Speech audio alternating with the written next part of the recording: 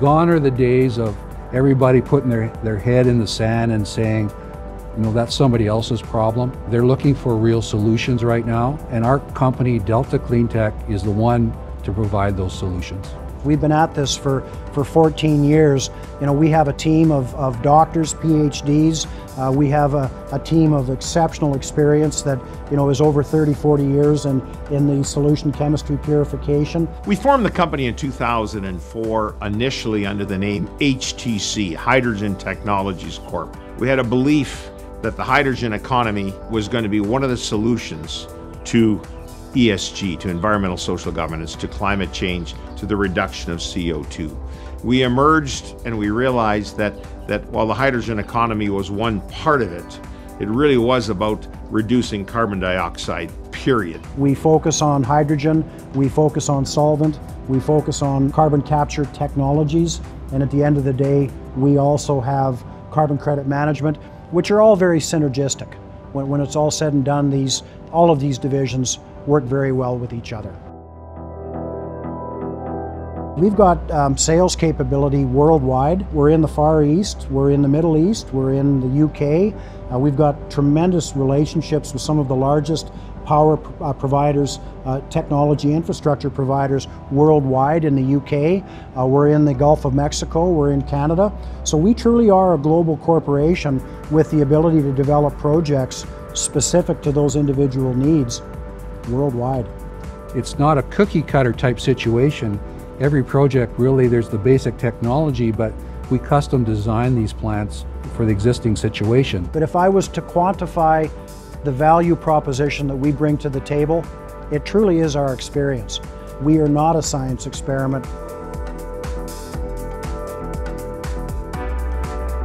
A lot of companies now are, are looking for ways that they can improve their ESG footprint, environmental and social governance. And one of those ways they can do that is by having clean power that they're using and not have to pay carbon taxes. So the model that we've come up with in, in the carbon-free industrial park is the fact that you look for an energy source like, for example, stranded natural gas, and then we generate power uh, with that gas. And at the same time, we use our CO2 capture technology to actually capture all the emissions for those large uh, turbines or reciprocating engines.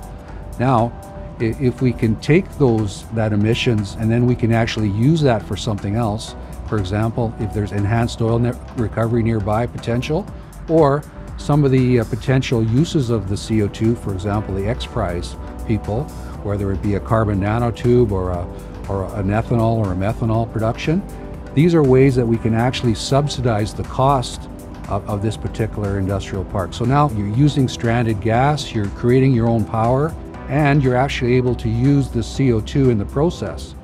And as a result, uh, we call it a carbon-free industrial park, and it makes a lot of sense. The hydrogen market is an exciting market. It's a great fuel, and, and really today it's a matter of how is that fuel going to be manufactured? Today, you can build gray hydrogen, blue hydrogen, or green hydrogen. Gray hydrogen is the splitting of that natural gas. You take away the hydrogen and you move it to market, but the CO2 you emit. Blue hydrogen, you split natural gas the same way. You take the hydrogen away and feed it to the markets, which is fantastic, and you capture the carbon dioxide from that transaction. And the blue hydrogen industry, we predict, will be very, very strong for the next 30 years while we eventually transition to green hydrogen. And green hydrogen will be simply utilizing electrolysis to produce hydrogen out of water using renewable electricity. So it's going to take a while for the enough of renewable electricity to be in our system to be able to make green hydrogen.